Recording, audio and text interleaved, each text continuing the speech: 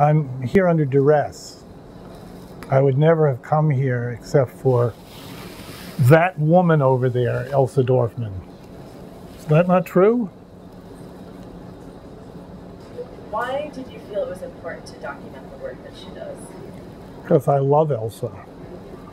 Of course. Um, and also, I wanted to bring her work to the attention of a larger audience. It deserves it.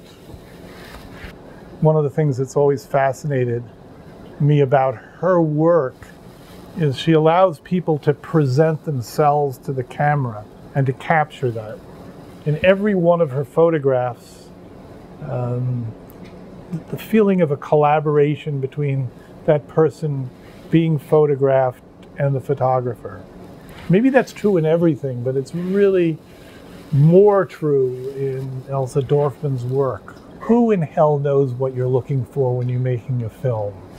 I don't know. But I wanted to capture Elsa on film, and to the extent that I've done that, then it's a success.